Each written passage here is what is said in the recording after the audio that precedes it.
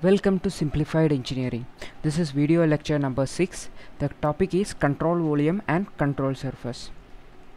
Consider an air compressor. An air compressor is an open system. And why it is an open system? From the surroundings there may be energy interaction and mass interaction with the system. Means air compressor is our system and it will be a device it will it is a device which compress the air from low pressure to high pressure which means that to compress air air has to enter into the system.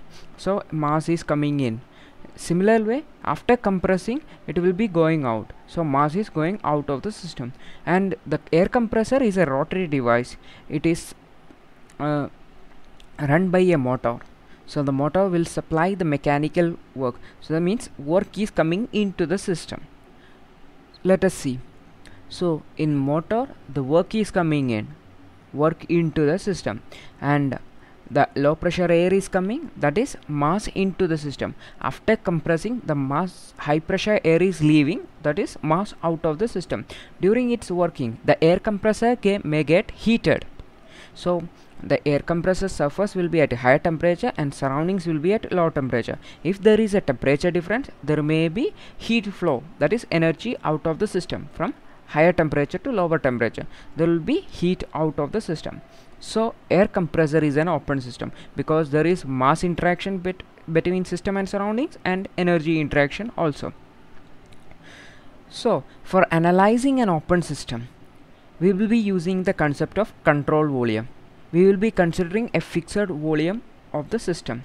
So we will be drawing a dotted line around the system. This is called control volume.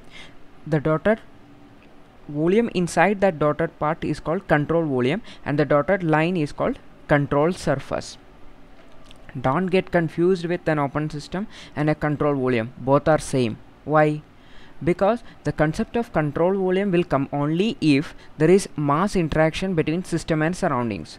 Means mass flow in system.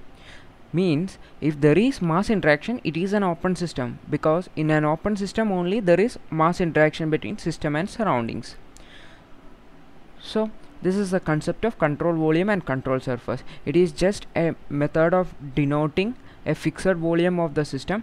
Why? Because it is very useful for analyzing the system and deriving equations for that system. Most of the engineering applications are open system like engine compressor turbines pump etc so for analyzing those kind of systems we will be using the concept of control volume Uh, the both energy and mass go crosses the control surface. For understanding easily i will be explaining this concept with a simple example. Means and consider an open system and the surrounding. In an open system there will be mass interaction and energy interaction between the system and surroundings. So we will be denoting a fixed volume of the system with a dotted line. That is the control surface and the volume inside the control surface that is control volume. I hope you understand the concept of control surface and control volume. It is nothing but an open system. For an open system only the control volume concept will come. Okay this is the end of le this lecture. In our next lecture we will be covering thermodynamic properties. We will be covering different types of thermodynamic thermodynamic properties in detail with examples. You can subscribe for latest videos and we will be updating with regularly with our videos. Thank you for watching